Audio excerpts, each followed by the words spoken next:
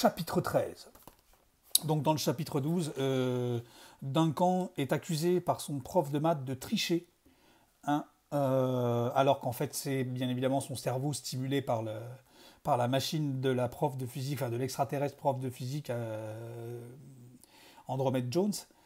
Et euh, donc il est accusé de tricher et il propose à son prof de lui donner cash maintenant tout de suite un problème sorti de son, de son cerveau et euh, de l'écrire sur le papier, de lui donner et il va le faire devant lui, comme ça il va prouver qu'il n'a pas triché au contrôle. D'accord? Chapitre 13. Petite musique de nuit. Pardon.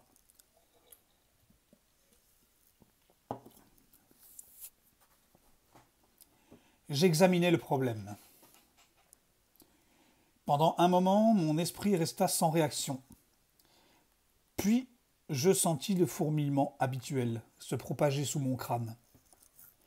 Sans lever les yeux, je tendis la main vers le crayon que tenait encore M. Black. Il me le donna, et je commençai mes calculs. Trente secondes plus tard, j'avais trouvé la solution. Je remis le papier à M. Black.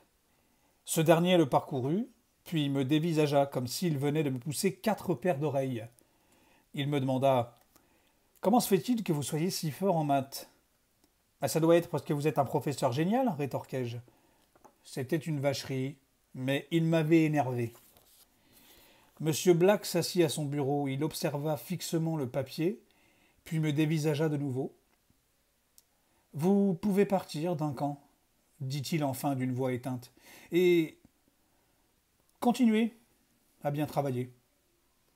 J'aurais dû tirer ma leçon de cette petite scène. Les gens ne veulent pas que vous changiez trop vite. Certains ne voudraient pas que vous changiez du tout, parce que ça les oblige à réfléchir quand ils vous parlent.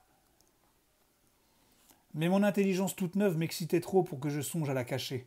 En sortant de chez M. Black, j'allais directement à la bibliothèque. La bibliothécaire me regarda entrer d'un air soupçonneux. Ne prêtons pas de bande dessinée, monsieur Dougal, dit-elle. Ça m'est égal, répondis-je, je veux lire un livre. Son visage prit une expression encore plus effarée que celui de M. Black un peu plus tôt. Le lendemain, pendant la leçon de physique, je m'avisais qu'il valait peut-être mieux se montrer plus discret.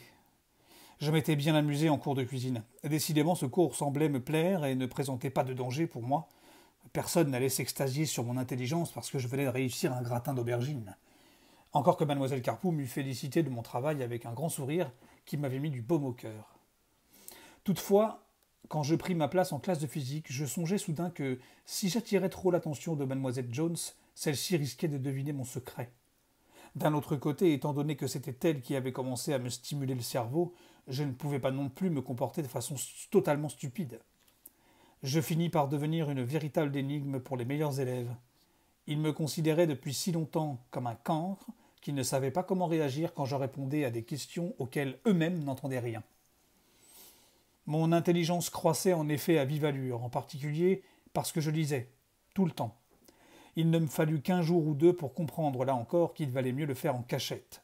La première fois que Patrick me surprit avec un livre, il me l'arracha des mains en me demandant en ricanant quel sale coup je préparais encore.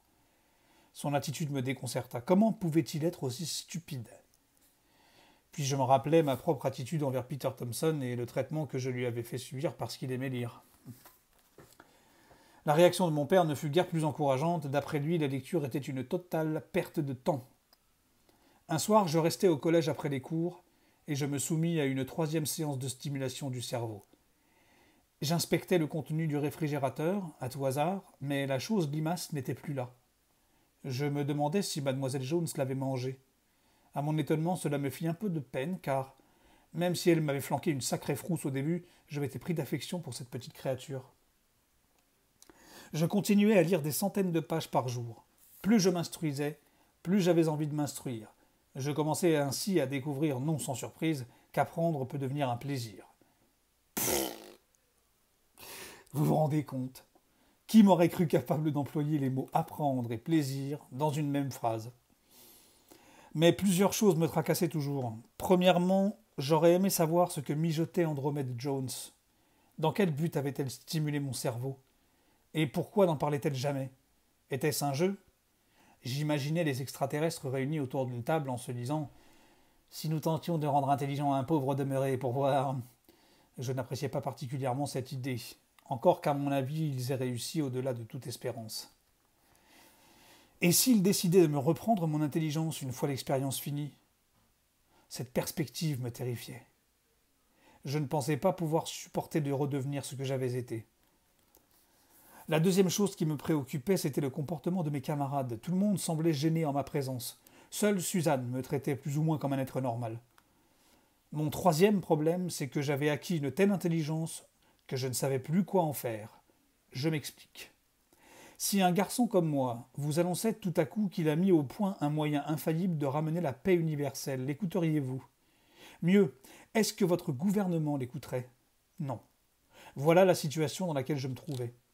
Un jour, je décrivis en classe un plan extrêmement brillant pour mettre un terme à la faim dans le monde. Mon professeur le jugea idiot. Le lendemain, j'inventais la fusion à froid, mais je me gardais de dire ça à la prof de physique parce que je ne voulais pas qu'elle sache que j'avais touché au stimulateur.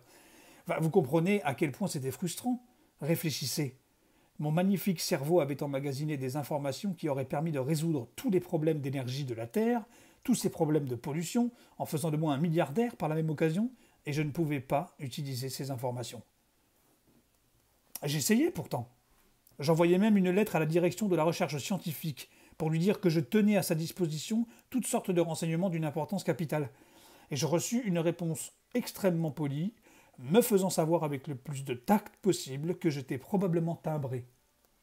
C'est là une autre chose que j'appris quand un garçon de mon âge a une idée, personne ne veut lui prêter attention. Parfois, il m'arrivait de comprendre pourquoi Peter Thompson avait décidé de partir avec Broxholm. Mais en dépit de tout, je me sentais plutôt satisfait de moi-même et de mon incroyable aventure. Jusqu'au soir où, m'étant mis au lit, je ne pus m'endormir à cause de la radio. Du moins, je pensais que c'était la radio. Ça suffit, Patrick. Éteins-la, j'ai sommeil. Éteindre quoi? Et ta radio? Ma radio est cassée d'un camp face de rat. Ferme-la, fiche-moi la paix. Je fronçais les sourcils. Patrick disait vrai. Je me souvenais tout à coup qu'il avait porté sa radio à réparer deux jours plus tôt, alors d'où venait cette musique? Je roulais sur le côté et la station changea. À la place de Madonna, j'entendis tonitruer Beethoven. Je me recouchai sur le dos et Madonna me perça de nouveau les oreilles. La musique était dans ma tête. La plupart des gens ont cinq sens. Soudain, j'en avais six. Je m'étais stimulé le cerveau une fois de trop. Il venait de se transformer, Dieu sait pourquoi, en récepteur radio. A plus.